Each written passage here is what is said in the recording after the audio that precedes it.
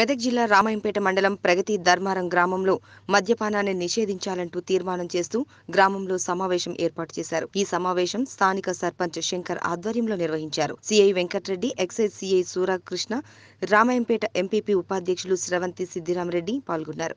ఈ సమావేశంలో గ్రామస్తులు గ్రామంలో సంపూర్ణ మద్య నిషేధం తీర్మానం చేసి ప్రమాణం చేసి ప్రతిజ్ఞ చేశారు. సమావేశంలో గ్రామానికి చెందిన మహిళలు గ్రామంలో మద్య నిషేధం పూర్తిగా అమలు చేయాలని మద్యం సేవించడం వల్ల చాలా గొడవలు జరుగుతున్నాయని ఎన్నో కుటుంబాలు ఆవేదన వ్యక్తం చేశారు. గ్రామంలో నాలుగు వందల మంది సంతకాలు చేసి తీర్మానం చేశారు. ఎట్టి పరిస్థితిలో గ్రామంలో మద్యం అమ్మకం చేయవద్దని ఎవరైనా చేసినా వారిపై చర్యలు తీసుకోవాలని కోరారు. అనంతరం మాట్లాడుతూ గ్రామంలో మద్యం అమ్మకం చేయాలనే ఆలోచన రాగానే గ్రామస్తులతో మాట్లాడారు. తీర్మానం చేయడం జరిగిందని కాబట్టి ఎవరైనా మద్యం విక్రయించే వారిపై శాఖాపరమైన చర్యలు తీసుకోవాలని ఆయన కోరారు. ఎక్సైజ్ సిఐ సూరాకృష్ణ సిఐ వెంకట్రెడ్డిలు మాట్లాడుతూ గ్రామంలో పూర్తిగా మద్యం నిషేధించాలని ఎవరైనా మద్యాన్ని విక్రయిస్తే వారిపై కఠిన చర్యలు తప్పవని కాబట్టి గ్రామంలో మద్యం విక్రయిస్తున్న వారు కూడా తీర్మానం కాపీలో సంతకాలు చేయడం అభినందించారు. రోడ్డు ప్రమాదాలు ఎక్కువ శాతం మద్యం సేవించడం వల్ల జరుగుతున్నాయని దాంతో వాహనదారులు మరణిస్తే ఆ కుటుంబం పూర్తిగా వీధిన పడినట్లు అవుతున్నాయని వారు తెలిపారు. గ్రామంలో మద్యం అమ్మకం మద్యం సేవించడం పూర్తిగా నిషేధించాలని ఎవరైనా చట్టాన్ని వ్యతిరేకించినట్లయితే వారిపై కేసు నమోదు మద్యం సేవించిన వ్యక్తి ఎలా ప్రవర్తిస్తున్నాడో కూడా అర్థం కాని పరిస్థితిలో ఉంటారని దీంతో కుటుంబంలో గొడవలు జరగడంతో పాటు హత్యలకు కూడా దారితీస్తుందని వారన్నారు. అనంతరం గ్రామంలో సీసీ కెమెరాలు కూడా ఏర్పాటు చేసుకోవాలని దాతల సహకారంతో సీసీ కెమెరాలు ఏర్పాటు చేయాలని తెలపడంతో ఎంపీపీ ఉపాధ్యక్షులు స్రవంతి సిద్ధిరామరెడ్డి తన వంతు సహకారంగా నాలుగు సీసీ కెమెరాలు అందిస్తామని ఆయన తెలిపారు. అదేవిధంగా గ్రామ పంచాయతీ పాలకవర్గం సైతం ఒక్కొక్క వార్డు సభ్యుడు ఒక్కో సీసీ కెమెరా ఇచ్చేందుకు ముందుకు వచ్చారు.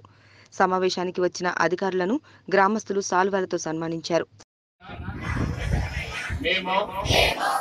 దేవుడిపై ప్రమాణం చేసి తెలియజేయడం ఏమనగా ప్రతిజ్ఞ చేయడం ఏమనగా ఈ రోజు నుంచి అదేవిధంగా ఆ ఊళ్ళో మద్యం అమ్మకాలు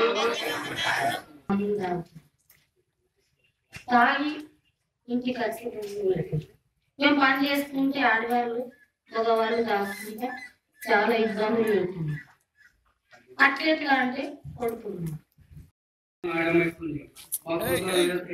ఈ పిల్లల కొట్టి తల్ల కొట్టి ఇదే బాధలు అవుతుంది. మేము కొంచెం మొత్తం మా బాధలు అయిపోతుంది.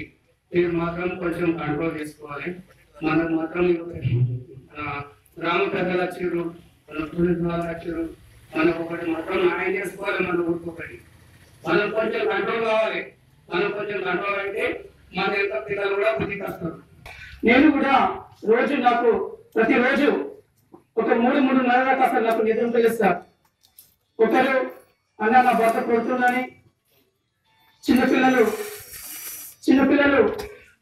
శంకరన్న మా డాడీ బాగా రాగొచ్చి నన్ను కొడుతుండ్రు మా అమ్మను కొడుతుండ్రు మా అమ్మ గ్యాస్ పోసుకుంటుంది మా డాడీ గుడిసెలు పెట్టి ఆన్వెట్టి కొడుతుండ్రు లేదు మా డాడీ ఉరేసుకొని పోతుండ్రు అని ఈ విధంగా చాలా ఫోన్ కాల్స్ ఫోన్ కాల్స్ వస్తుంది నేను అక్కడికి వెళ్ళి కూడా నా సాధ్యమంత మట్టి కూడా నేను ఒకటి సర్దుమనపడానికి నేను ప్రయత్నం చేస్తున్నా నేను सुनो पूरी पब्लिक शर्माना ये वो पीने वाले जो लोग मारती वैसा दी तरह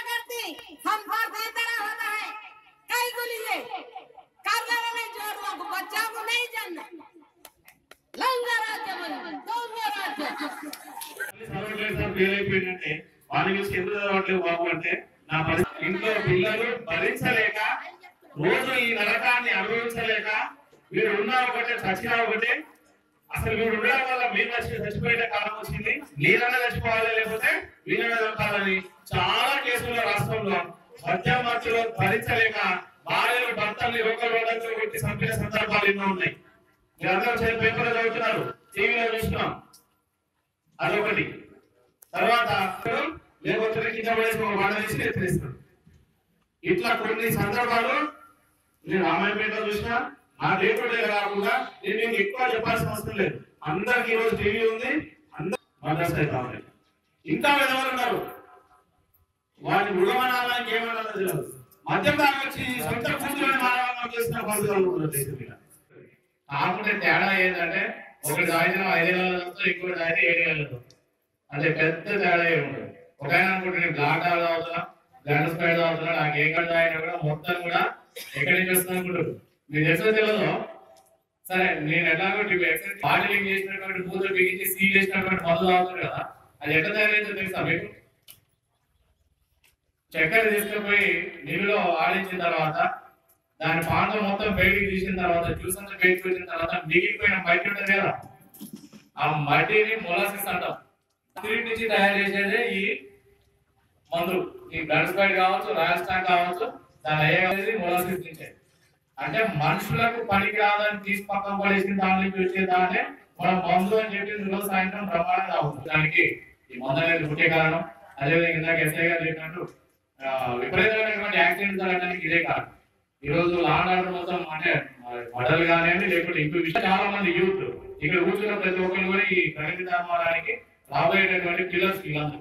సరే ఎంత పక్కన కూర్చున్న వాళ్ళు పెట్టాలంటే